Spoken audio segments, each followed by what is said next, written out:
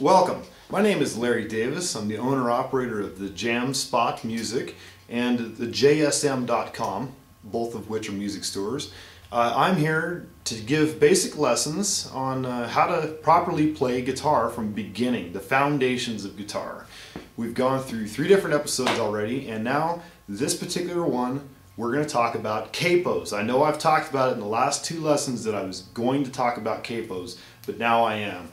Capo is a very necessary tool for any guitar player to have, especially if you play any sort of Nashville songs, whether country, uh, bluegrass, anything. You need a capo, folk music.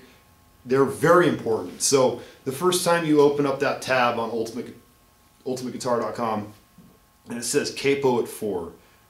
You're like, what is that? You know, but that will incredibly change your sound. Is what that means is you take a capo. This particular model here is a Jim. No, wait a second. This is a Kyser. I'm sorry. This is a Kyser capo, spring loaded.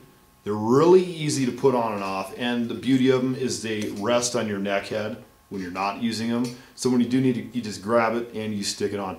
Now, is what this does is this actually becomes your guitar nut. This is the guitar nut right here.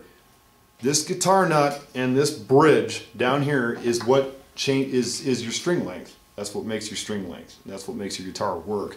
Now, if you put this on the second fret, which is right here, and pinches it, it squeezes all these strings tight, super tight, and then it actually becomes your second fret becomes your nut.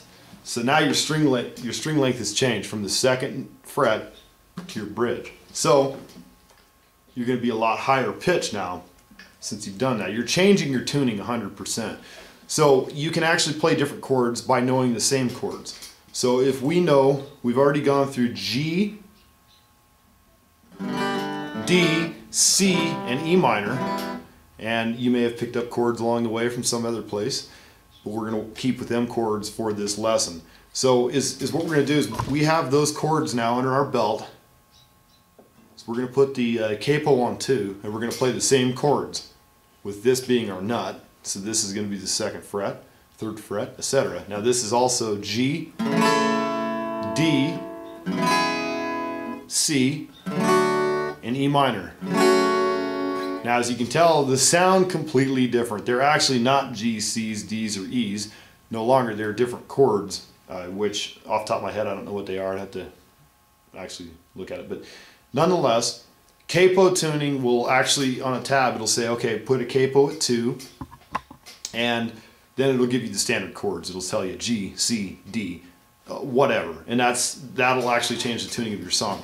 Now, when it comes to Nashville, there's a lot of really famous and well-known songs that are done with capos. But if you're trying to be a cover band, you're going to look at that. If you're trying to be your own artist, then you want to match your vocals. You know, however your vocal key is, you may be better playing with a capo at two or a capo at four, just depending on what your vocal pattern is, what your key of your vocals are. Uh, that that's really important too. Now the, the, the capo has been well known for a lot of famous songs. Uh, if you put it on see 357 and you play the D chord, it's really high pitched, but it may sound familiar.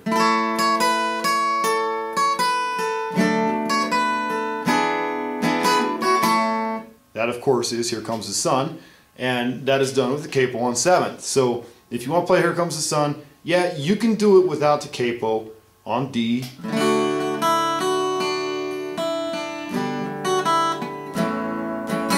but it's not going to sound correct because you're not in the right key. So uh, a capo may be something you want to add to your list of things that you have to have for the guitar.